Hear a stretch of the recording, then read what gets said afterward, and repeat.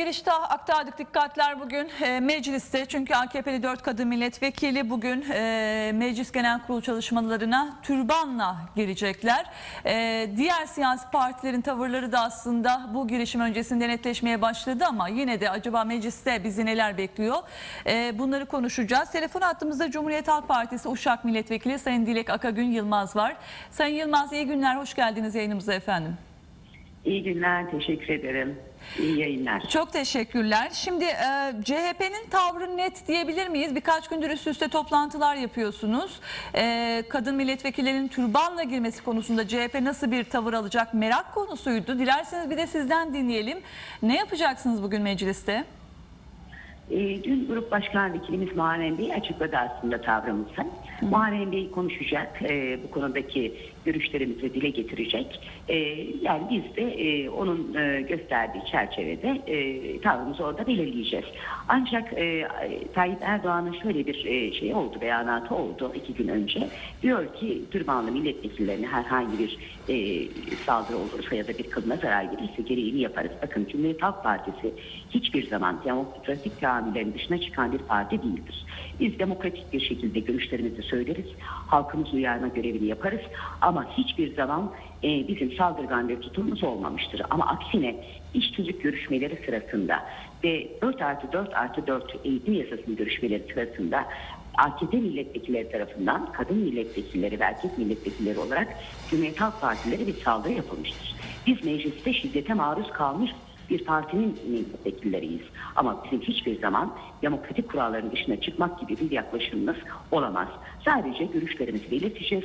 AKP'nin bu konudaki ikiyüzlülüğünü, din istisnacılığını belirteceğiz. E, ve bu konudaki e, tavrımızı da Muharrem Bey e, belirleyecek zaten. Şimdi ben e, birkaç e, şeye, e, çelişkiyi de e, dile getirmek istiyorum. Buyurun. E, bakın 2005 yılında e, Bülent Arınç şunu söylüyor. Diyor ki devlet dairelerinde ve kamu otoritesinin temsil edildiği meclis gibi yerlerde dini simgelerin kullanılması doğru değildir diyor. Örneğin bir Musevi takkesiyle gelinemez, rahibe kıyafetiyle gelinemez, bir haçlı kolyeyle gelinemez ve türbanla da gelinemez. Çünkü böyle gelindiği takdirde devletin otoritesinin e, belli bir din, e, dinsel simge üzerinden kullanıldığı ve diğer kişilere de bir korku yaratılabilir, bir baskı unsuru olabilir. Bu çerçevede e, devlet otoritesinin kullanıldığı yerlerin tarafsız olması ve tarafsız görünmesi gerektiği için de bu simgelerin kullanılması doğru değildir diyor. Aynı şekilde e, 2008 yılında Hüsnü Tuna, AKP Konya Milletvekili, kamuda, devlet dairelerinde türban serbest olmalıdır dediği için AKP grubu tarafından e, disipline veriliyor ve uyarı cezası alıyor. Nurettin Canikli bu konuda görüşlerini açıklıyor 2008 yılında yine. Diyor ki kamuda yani devlet dairelerinde ve meclis gibi yerlerde e, bu şekilde e, dini simgelerin kullanılması doğru değildir diyor. Daha geçen yıl e, kadın milletvekillerinin pantolonla girmesi konusunda bir tüzük değişikliği önerilmişti AKP tarafından. Ona karşı ise BDP grubu türbanla da girilmesi konusunda bir önerge verdi. Hı. AKP bu önergeyi reddetti. Bakın daha geçen yıla kadar bu tavrını sürdürürken şimdi AKP grubu birdenbire vahiy inmiş gibi e, türbanın özgürlük e, simgesi olduğundan bahsediyor. Yani normal koşullarda vatandaşlarımızın evinde, sokakta, işlerinde elbette dini inançlar neyse bu şekilde dolaşmaların da kimse karışamaz. Yani Türkiye laik ülke ise bütün inançların e, kendileri istediği gibi ifade etmesi gerekmektedir. Ama devlet otoritesinin simgelendiği yerlerde hiçbir dini simge kullanılamaz. Avrupa İnsan Hakları Mahkemesi kararları da doğrultuda Bizim Anayasa Mahkemesi'nin kararları var. Bu doğrultuda sadece bu türbanla ilgili de değil bakın. Daha yeni 15 Ocak 2013 tarihinde Avrupa İnsan Hakları Mahkemesi Chatvin İngiltere kararı olarak adlandırılan bir karar verdi.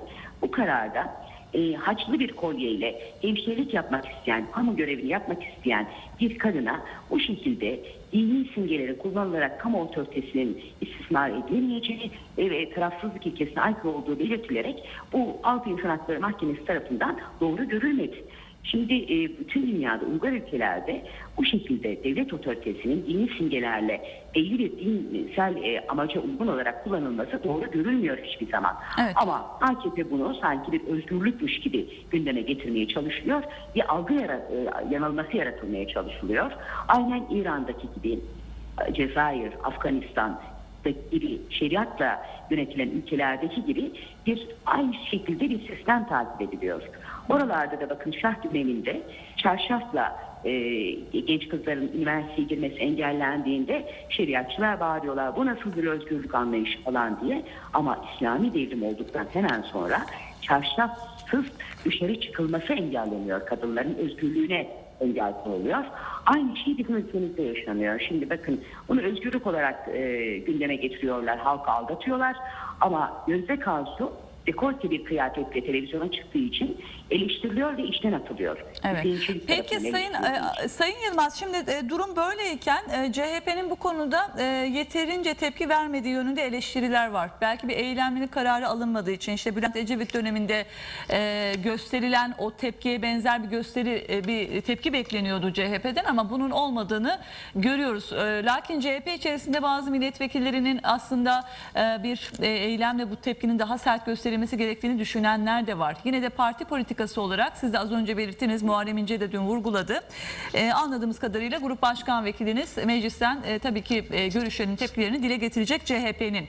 E, ama nasıl bir endişeyle hareket etti CHP? E, ya da bu eleştirilere nasıl yanıt veriyor? Yani e, yeterince tepki vermediği söylenebilir mi acaba? E, daha sert bir tutum mu beklemek gerekiyordu CHP'den? Siz ne dersiniz?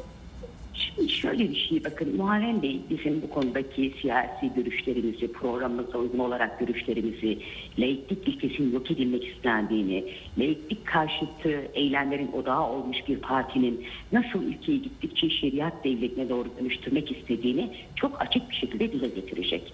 Ve aynı zamanda AKP'nin iki yüzlülüğünü de daha düne kadar hayır derken e, e, dini simgelerin e, devlet otoritesi tarafından e, baskı unsuru olarak kabul edilmesine e, doğru görmezken AKP'liler şimdi bunu özgürlük olarak algılatmaya çalışıyorlar. Bu konudaki ikiyüzlülüğe de değinecek.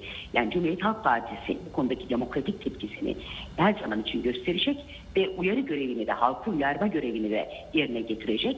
Ama onun dışında tabii yani e, daha e, şey bir tutum ne diyeyim e, yani bir eylemlilik e, konusunda bizim şöyle bir şeyimiz oldu örneğin. Farkındalık yaratmak adına e, işte e, genel kurulu belli bir süre terk edelim e, dedik. Bu konuda görüşümüz dile getirdik. Ama şu anda arkadaşlarla görüşemediğim için e, şu andaki görüşlerini bilmiyorum. E, ama benim görüşüm buydu mesela. Çünkü vatandaşımızda bir e, farkındalık yaratmak gerekiyor bu konuda Evet. yani e, tabii sadece Cumhuriyet Halk Partisi'nin e, yapması gereken bir şey değil. Bütün kadın örgütlerinin ve gerçekten bu ülkenin çağdaşlığına eğitimine sahip çıkması gereken bütün örgütlenmelerin bu konuda bir tavır sergilemesi gerekiyor. Cumhuriyet Halk Partisi de yani çağdaş laik cumhuriyete e, sahip çıkacaktır. Bu konuda en ufak bir şüphemiz olmasın diyorum ben size. Bireysel bir çıkış görebilir miyiz acaba e, mecliste bu konuda? Ben şöyle bir şey yapacağım. Dün de az çok bunu söyledim zaten. Hı hı. Ee, Atatürk e, e, ve Türk bayrağı olan bir tişört giyeceğim. Ee, bunu yaparken de e, Cumhuriyet'in e, laiklik, e, çağdaşlık, demokrasi ve üniter devlet yapısıyla kavgalı olan AKP'ye bir mesaj vermek istiyorum. Vatandaşlarımıza da bir mesaj vermek istiyorum. Türkiye Büyük Millet Meclisi Cumhuriyeti kurmuş bir partidir. E, ve e, laikliği, çağdaşlığı, demokrasi, üniter devleti e, ilk e, anayasasından itibaren e, koruyan e, bir e, meclistir. Bu mecliste eğer siz e, bu meclisin bu yap- e, değerlerini ortadan kaldırmaya doğru bir e, gidişe e, izin veriyorsanız o zaman biz de Cumhuriyet kadınları olarak e, hem Atatürk'le hem Türk bayrağıyla buna izin vermeyeceğimizi Cumhuriyet kadınları olarak ilk ayakta durduğumuzu göstermek adına ben öyle bir tişörtle onlar geldikleri zaman ben de o ön plana çıkartacağım. Yani böyle bir e, tavrım olacak benim. Evet peki. E, Sayın Dilek Akagün Yılmaz çok teşekkür ediyorum değerli katkılarınız için efendim. Ben teşekkür ederim. Çok sağ olun. İyi günler diliyorum.